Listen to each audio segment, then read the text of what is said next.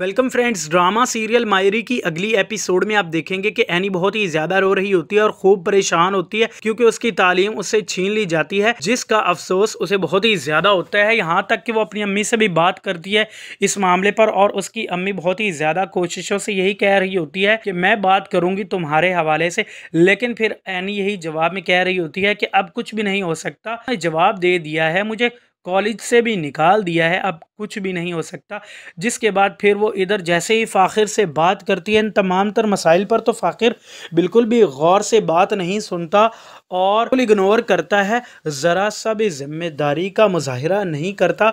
इस चीज़ की वजह से एनी का बहुत ही ज़्यादा दिल दुखता है और वो यही कह रही होती है कि मैं तो यही समझती थी कि फ़ाखिर मेरा हर मुश्किल में साथ देगा, लेकिन वो इतनी जल्दी अपनी ज़िम्मेदारियों से लापरवाह हो जाएगा। ऐसा तो मैंने कभी तस्वुर भी नहीं किया था। वो बहुत ही ज़्यादा बदल चुका है और उसका काफ़ी दिनों से रवैया भी बहुत ही ज़्यादा मुझे बदला हुआ दिखाई दे रहा है, जिसके बाद वो बहुत ही ज़्यादा परेशान रहने लग जाती है। खैर, इधर आगे आप ये भी देखेंगे कि राहिला ने ये सोच लिया होता है कि बहुत ही जल्द साइका और उसकी बहन को अपने घर से निकाल देगी और वो इन्हीं कोशिशों में होती है।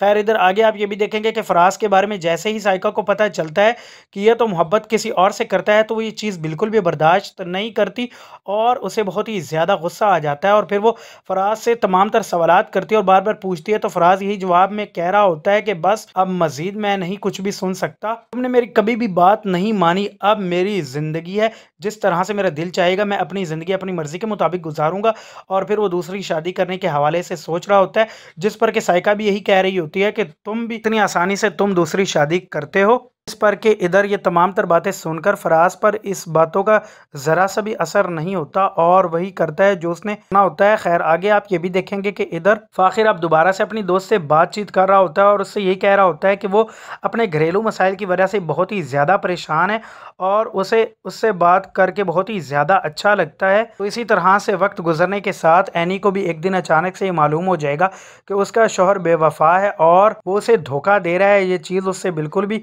बर्दाश्त नहीं होएगी और जब वो फ़ाखिर से सवाल करेगी तो फ़ाखिर बहुत ही ज़्यादा गुस्सा करेगा, फिर मामला बहुत ही ज़्यादा ख़राब हो जाएँगे। यहाँ तक कि एनी की वालिदा भी बहुत ही ज़्यादा अपनी बेटी की वजह से परेशान होगी और फिर फ़ाखिर की अम्मी से इस सिलसिले पर बात भी करेगी और बहुत ही ज़्यादा शिकवा करेगी और यही कहेगी कि फ़ाखिर बिल्कुल भी अच्छा नहीं है, उसे ज़रा सी भी कदर नहीं है, ज़रा सी भी उसे अपनी ज़िम्मेदारियों का एहसास नहीं है। सो फ्रेंड्स अब आपको क्या लगता है कि इधर फ़ाखिर को जब एहसास होगा, क्या वो ख़ुद को बदल पाएगा या फिर नहीं?